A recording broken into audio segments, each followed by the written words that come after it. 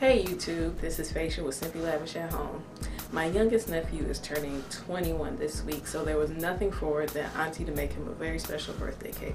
Check it out.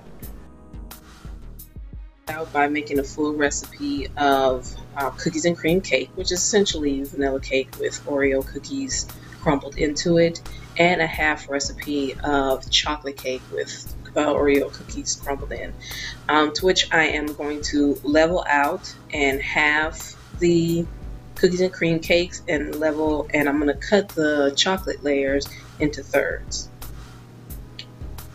So you see there I'm using a ruler and a very sharp knife to make sure I get even layers I also made cookies and cream buttercream, which is again just regular buttercream with very finely chopped Oreo cookies in there. The cake layers have been simple syruped and I'm using a piping bag to dollop on my buttercream.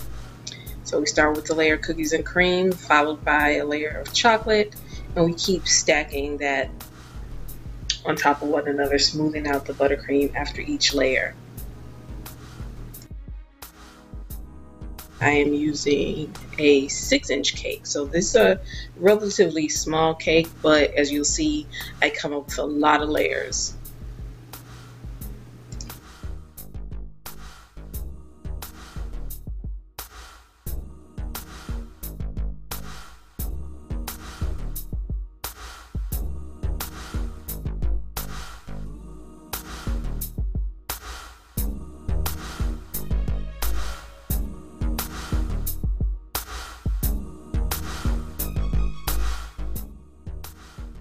We can go ahead and put on our buttercream along the outside.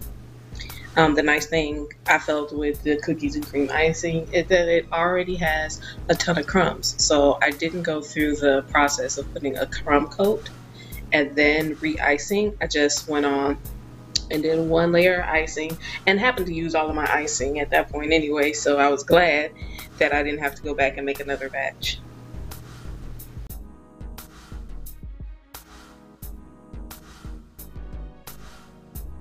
Got through icing this cake, I got a little worried because I didn't put a second cake board in the middle of all of those layers. So I got worried that it might collapse on itself, but everything turned out to be really good and turned out fine.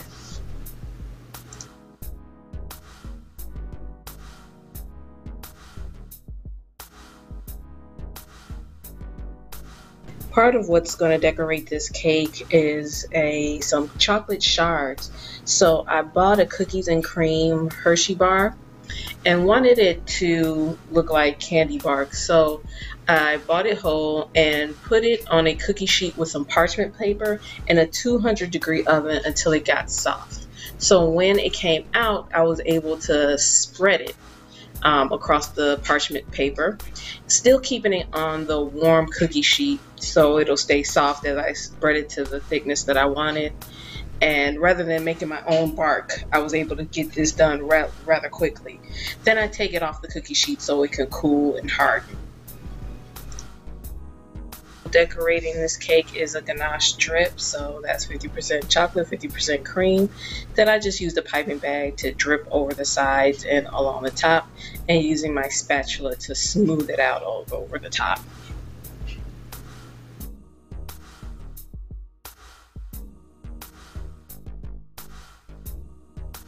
So now that my candy has rehardened, I initially thought I would just pick it up and drop it to see how it broke. But I was worried that the pieces would be too small and I wouldn't get the height that I wanted. So I just decided to let it sit out for a little bit and go in with a knife and strategically, randomly break it up with a knife.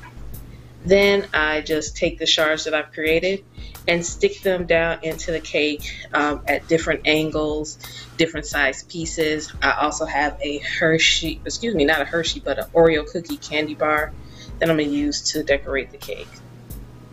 Along with some Oreos that I had left over out of the package. Um, some of them still sandwich. Um, one of them I opened up to reveal the white center and place those over the top of the cake.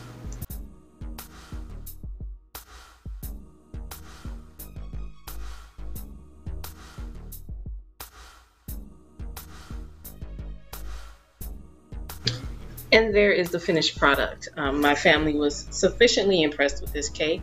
The birthday boy was happy. And we all had a really good time eating cake, drinking champagne, and celebrating my nephew's birthday.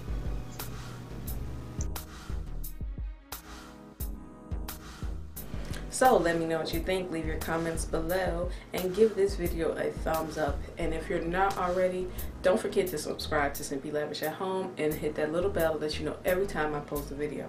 You can follow me on Facebook, Instagram, and on Twitter. And as always, thanks so much for watching. Until next time, here's to living simply lavishly. Cheers.